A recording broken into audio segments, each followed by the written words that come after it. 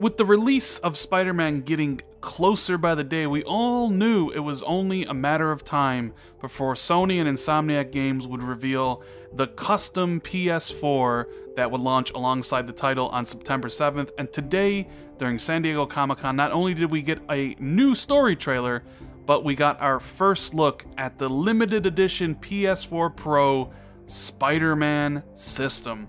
I'm sure you guys are wondering is it hot? Is it fire? Do I need to go and reserve this at GameStop right now? Or is it trash like every other PS4 custom console this generation? Well, let's talk about it, shall we? What's going on, guys? Randall Thor 19, the man with the million, back again with another video. And I'll have the link to the PlayStation blog if you want to take a look and read through this all yourself and take a look at these pictures of this limited edition PS4 Pro. But of course, I'll have those up on screen as well so you can marvel at what this system looks like. And I'm sure you're everybody's out there wondering, hey, Rand, do you like this one? Because you've been pretty vocal about how Sony's custom consoles this generation have been lacking. And it is true. Uh, they don't really do much for their custom consoles. I didn't like the God of War one.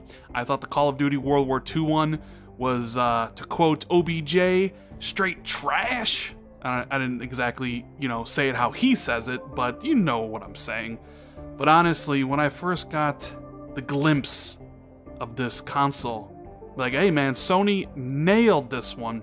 I really like the red on the console, but I think what really makes it is that Spider Man logo. Like, there's no words on it, and there doesn't need to be. All you need is just that Spider Man logo on there to just.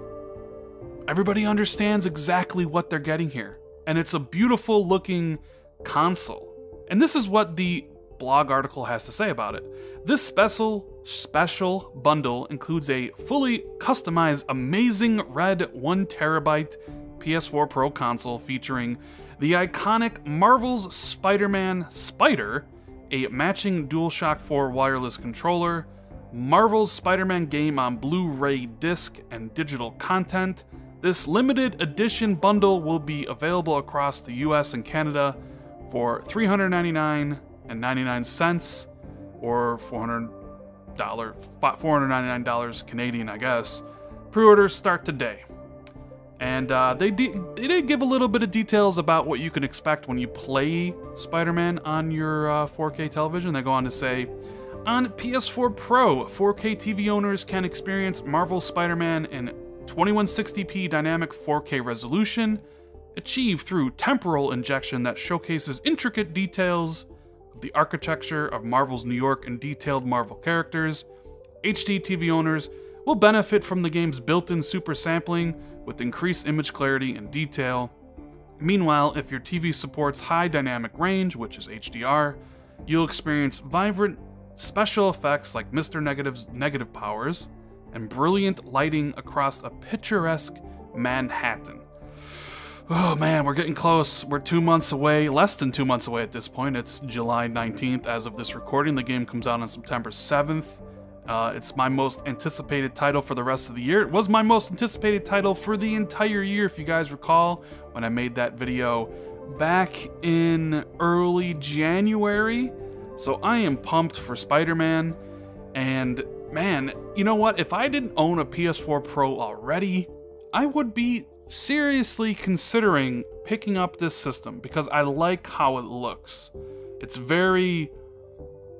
It's. What's the word I'm looking for here? Um. It's very simple, but it's very effective. You see, I thought they were doing too much with the God of War system, the God of War system. Uh, you know, with with Kratos' axe being on it and all the different ruins. I thought the camo stuff for the Call of Duty World War II system was just ugly. But this is simple and effective. You know it's Spider Man by just looking at it. You see the logo, you see the red color, and you know exactly what it is. It doesn't need to be anything else. Now, the controller, on the other hand, I'm not that big of a fan of. I don't know, I don't think red looks good on that controller, although I do like the white buttons uh, for the triangle the circle, the X, and the square. But I mean, honestly, it's just it's just the console that looks gorgeous. It's definitely their best one they've done. And that's one of the things you can always count on Sony to do. When they have a big exclusive, they go all out, not only with their marketing. We all remember Sony's marketing for God of War and how effective that was and how amazing God of War was. Not only in critical reception, but commercial reception. We're talking 5 million in a month. They were advertising all over the place. It was everywhere. You couldn't escape God of War. And I expect the same to be true for Spider Man when it launches on September 7th. It's probably going to drown out uh, the marketing for Shadow the Tomb Raider, unfortunately, another game I'm really looking forward to. But September belongs to Spider Man, the biggest superhero in the world, and that's coming from a Batman fan. Like, I am a gigantic Batman fan, but I know worldwide nobody touches the appeal of Spider Man. And, you know, I've had conversations with friends. Uh, could Spider Man outsell God of War? Could Spider Man be one of the best selling games of the? Holiday? Could it outsell even Red Dead Redemption? Yes.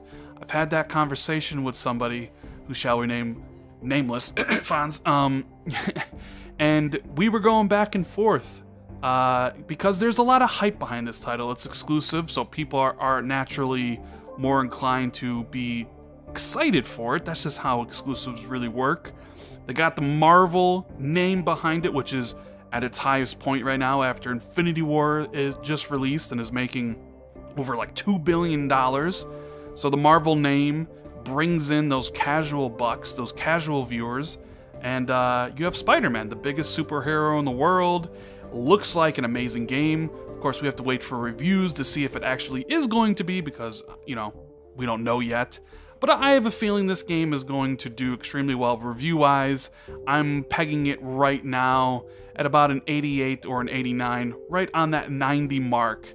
And I think Insomniac has maybe their best selling title ever. Like, I expect this game to be a monster. And then you combine it with this limited edition PS4 Pro, and it's interesting that they went with the Pro for this version and not uh, the PS4 Slim. If you recall, the Call of Duty World War II bundle was a Slim version. The God of War bundle was a Pro version, and Spider Man is a Pro version. So it's always interesting to see what kind of demographic they're chasing after. Obviously, they're going after the high end user here, the one who probably owns a bunch of PlayStations already. Uh, maybe a Spider Man fan who isn't a PlayStation owner yet, get him into the ecosystem. Because uh, it is expensive bundle, it's $400. Uh, the PS4 Pro at this point is what, over two years old, or at least will be two years old when this bundle releases. So it's a tad bit expensive, 400, but you do get the game. The game is 60 bucks. All in all, I think it's a pretty good uh, price for what you're getting with uh, the console. And uh, I think Spider-Man is going to surprise a lot of people. I think it's going to sell more than people expect. I guess that really goes to what your expectations are. Uh, it's going to be interesting to see how this one fares against God of War. That's kind of where the, the litmus test that I'm looking at here. Because God of War blew everyone's expectations away for a single player only title. And this is very similar. It's a single player only title. Yes, it's coming out in the holiday. Yes, it has more competition. We have Shadow of the Tomb Raider the week after. You have the Destiny 2 expansion that a lot of people are excited for. Uh, the following month, you got Call of Duty Black Ops 4, you got Assassin's Creed Odyssey, you have Red Dead Redemption 2, you got Battlefield 5, there's Forza Horizon 4 on the Xbox, there's Fallout 76 in November, Hitman 2, uh, Walking Dead's uh, new game, and, and, things like that. So there's tons of games coming out. Uh, so the competition's definitely going to be fiercer, tougher. Uh, but like I said earlier, Sony's gonna go all out. This is their game for the holidays, and we we know that they will market this like none other. They will definitely put this all over TV. It'll be all over YouTube. It'll probably be posters on sides of buildings. And then once those reviews come in, probably a week before the title releases, because um, I, I would imagine they're probably pretty high on this game. Spider Man hysteria is going to take into effect and people are going to talk about it. And of course, we all know that it definitely, more than likely, has November NPD on lock, because why wouldn't it? Nothing really else is coming out that month for Nintendo or Xbox uh, that would sway anything. So PlayStation's gonna win that month and probably win more than likely worldwide on the strong, uh, the strong, this strong title as well as others. But um, man, just watching the new story trailer, uh, you know, the the 2018 E3 showing, and you just get the sense that Sony is extremely confident with this title, and that come September 7th they will have a grin that stretches from ear to ear. Now, even thinking further along the lines of how this exclusive title compares to the other ones like God of War and Last of Us, I actually do feel that this one has the potential to cross demographics, or at least bring in people who are non gamers or casuals who really aren't interested in the God of Wars or the Uncharted's. Think about all the people that play Fortnite, for example. Millions and millions of people that play Fortnite. And I s- and you know that a lot of them don't care one bit for any of the exclusives on Xbox or PlayStation. But you know what they might care about? They might care about Spider-Man because he is a worldwide icon. The Marvel Cinematic Universe is stronger than it's ever been, especially after the release of Avengers.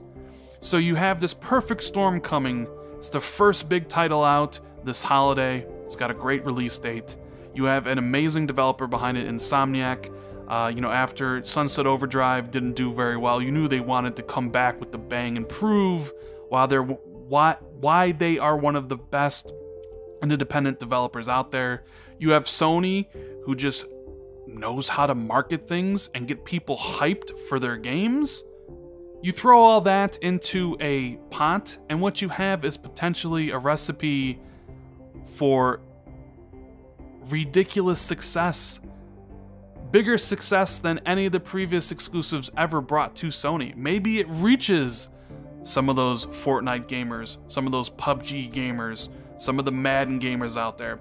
Spider Man has the potential to cross into that demographic, where I feel that God of War and Last of Us just couldn't. Will will it actually happen? I don't know. Maybe I'm just kind of spitballing here and it won't, and Spider-Man will just do okay. But I don't know. I think there's something special with this title, and personally, I can't wait to play it on September 7th. I'm super excited, I hope you are as well. So let me know what you think about all this in the comments below. Do you like the brand new system? Do you like how it looks? Do you like the red? Uh, and um, let me know if you're excited for the game. Leave a comment, and as always, if you enjoyed the video, give it a thumbs up. Hit that notification bell, hit the sub, be sub icon. You know how this all goes. Thank you guys so much for watching. I greatly appreciate it. And I'll see everybody in the next video. Later, guys.